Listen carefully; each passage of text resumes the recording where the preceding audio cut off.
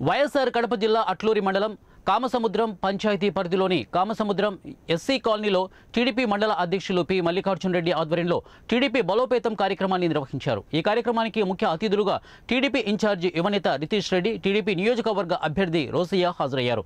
ఈ సందర్భంగా వారికి మండల టీడీపీ అధ్యక్షులు పి మల్లికార్జున్ రెడ్డి ఆధ్వర్యంలో టీడీపీ నాయకులు కార్యకర్తలు ఘనంగా స్వాగతం పలికారు.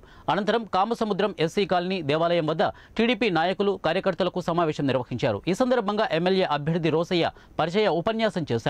అనంతరం తెలుగు యువత అధ్యక్షులు జయకృష్ణారెడ్డి చంద్రశేఖర్ రెడ్డి మన్యం మహేశ్వర్ రెడ్డిలు మాట్లాడుతూ టీడీపీ పార్టీపై ప్రజలు స్వచ్ఛందంగా ఆకర్షితులవుతున్నారని తెలిపారు. ఈ సందర్భంగా రితీష్ రెడ్డి వారికి పార్టీ కండువ కప్పి సాధారణంగా పార్టీలోకి ఆహ్వానించారు. ఈ కార్యక్రమంలో పెద్ద ఎత్తున టీడీపీ నాయకులు కార్యకర్తలు పాల్గొన్నారు. తెలుగుదేశం పార్టీలో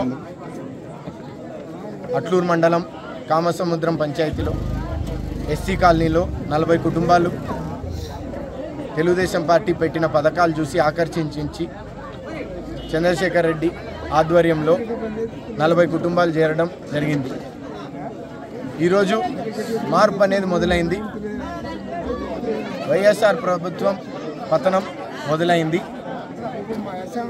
అన్ని పంచాయతీ వారిగా త్వరలో అన్ని మండలాల్లో అన్ని పంచాయతీలో తెలుగుదేశం పార్టీకి చేరడం జరుగుతుంది. ఈ మేము కూడా ఈ రోజు నుంచి భవిష్యత్ గ్యారంటీ బాబు షూరిటీ అని ప్రజల్లోకి తీసుకెళ్తున్నాం. అందరికీ డోర్ టు డోర్ వెళ్ళి పథకాల గురించి చెప్పి తెలుగుదేశం ప్రభుత్వం ఇచ్చిన మినీ మేనిఫెస్టోని అందరికీ ఎక్స్ప్లెయిన్ చేస్తాం.